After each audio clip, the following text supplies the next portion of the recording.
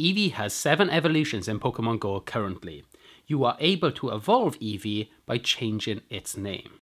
Starting with the Kanto region, changing the name of Eevee to Sparky before evolution will turn it into a Jolteon. To evolve your Pokemon into a Vaporeon, you should change its name to Rainer. And to change it into Flareon, you should name it Pyro. For Gen 2 Pokemon, if you wish to have an Umbreon, you should name it Tamao. And the Espeon, it is Sakura.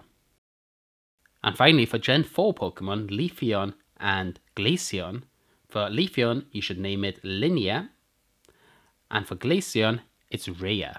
This method can only be used once in Pokemon Go. If you wish to evolve your Eevees into particular evolutions afterwards, you will have to use other methods. For more videos on Pokemon Go, please subscribe to our channel.